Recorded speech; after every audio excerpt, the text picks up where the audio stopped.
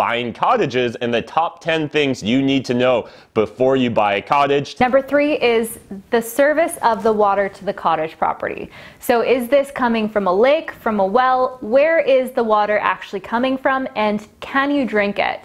So there's a term that is common in cottage country world, which is potable, which means can you or can you not drink the water that's coming through the tap? So is this cottage property on grid or off grid? That will really determine how expensive it is to service the electricity, the water, and the heat of the property. Number six is waste management. Now, this is everything from your garbage disposal to number two, the doo-doo. What is up YouTube, Matt McKeever here, and in today's video, we're going to be talking about buying cottages and the top 10 things you need to know before you buy a cottage. Today, Rebecca from my We Buy Cottages business is going to be on the show breaking down for you guys exactly what to expect. So if you guys didn't know and you're looking to buy a cottage in Ontario, you definitely need to join our buyers list. We'll throw a link in the video description down below, but otherwise, uh, we'll hand it off to Rebecca and she'll break down for us the top 10 things you need to know before you buy a cottage. What's going on YouTube? It's Rebecca Lynn Matheson here and today we're going to be talking about the top things that you need to know before you buy a cottage. Let's start with number one, access.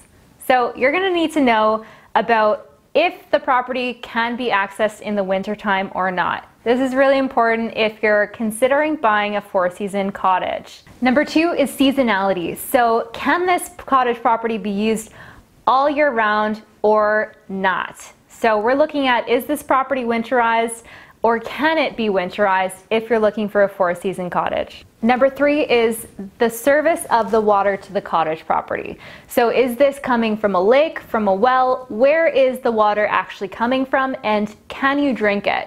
So there's a term that is common in cottage country world, which is potable, which means can you or can you not drink the water that's coming through the tap?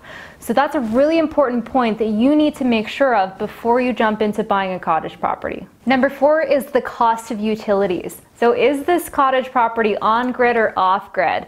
That will really determine how expensive it is to service the electricity, the water, and the heat of the property. So make sure that you understand the full cost of the utilities going to this property. Are you gonna need to bring in a propane tank? Is it on a direct gas line? So ensure that you check into this before you jump into a cottage. Number five, local amenities. So just in case anything happens, you should know where the hospitals are and how close are you to a grocery store. All of these things are important considerations. Number six is waste management. Now, this is everything from your garbage disposal to number two, the doo-doo. So when you're looking at a cottage property and waste management, you have to consider is it on a sewer or a septic tank? Because if it is on a septic tank, there's a lot of other things that you need to do to ensure that there's not an issue. Number seven is rentability. So you may or may not know, but Airbnb isn't allowed in every area of Ontario. Blue Mountain and Collingwood, for example, you're actually not allowed to have a short-term Airbnb rental. So you need to actually look into the city guidelines and ensure that if Airbnb is your strategy or other short-term rentals, you have to ensure that you're actually able to do it. Now, some areas like Grand Bend, Muskoka are flourishing with Airbnb rentals. So depending on what your goals and your strategy is, make sure you look into the city guidelines. Number eight is boundaries of the property. It's really important that you know where the boundaries lie because you don't want any angry neighbors. Also, it really changes the landscape of the property depending on where the trees are. So if you have a tree on your side of the property line versus the other side of the property line, it can actually change your view of the water or it can change your privacy. So just ensure that you understand where those property lines lay.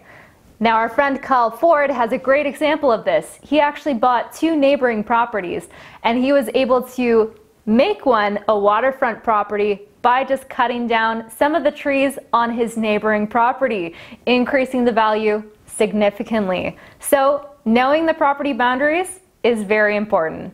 For number nine, inspection and due diligence, you can refer back to Cottage Buying 101. It's another video on this channel where we're gonna break down the five important inspections that you should have on your property.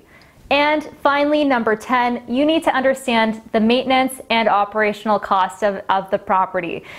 With a cottage property, there is a seasonality to it. So after the winter, you may have additional operation or maintenance costs in order to get the property up and running for its prime rental season. Thanks for joining me on today's video. Again, my name is Rebecca Lynn Matheson. Now, if you liked today's content, you should hop over to www.cottagebuyers.com slash private deals where you can find your very own private off-market cottage deal. Now, another thing that you should know, follow me on Instagram and like and subscribe if you're not already to Matt's channel and comment in the comment section below if you want to see more videos like this. You can also hop over to my YouTube channel, Rebecca Lynn Matheson, for more great content. Thanks guys, we'll see you on the next one. Thanks again to Rebecca for taking the time to shoot this video. And a quick reminder, guys, if you didn't realize it, this is actually based upon a free e-guide we put together. So I literally spent like a lot of time, wrote over 6,000 words on buying a cottage, and we put it all together into a really pretty bundle with a bow on top for you guys. Grab a free copy in the video description down below. Otherwise, if you're looking to buy a cottage in Ontario, Canada right now, make sure you jump on our buyers list because we're coming up with a lot of interesting deals. Recently, we had a four island deal that we were discussing, so make sure you get on that buyers list. Even if you're just curious, really encourage you guys to do so. But otherwise, if you enjoyed this video, smash that like button, hit subscribe if you're new to my channel, and let me know what does your dream cottage look like in that comment section down below. Mine involves waterfront, ideally an island, um, and no, no neighbors. Thanks, guys.